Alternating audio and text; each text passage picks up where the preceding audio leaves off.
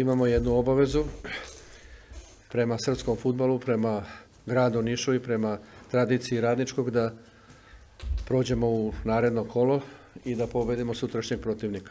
Protivnik je ozbiljan, e, međutim, to sve ne sme da se dovede u pitanje, da li smo bolji ili nismo, jesmo, treba da pokažemo na duelu, e, u direktnom duelu na terenu.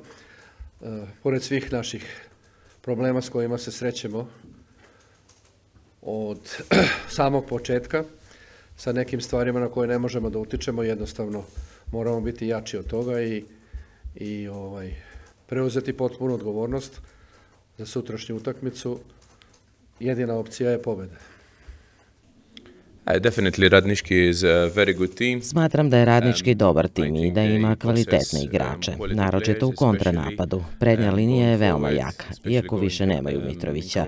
Ipak mislim da im je napad very veoma opasan, ali verujem da tim Radničkog ima i slabe tačke koje smo iskoristili u prvom meču, pa se nadamo da to učinimo very i u drugom.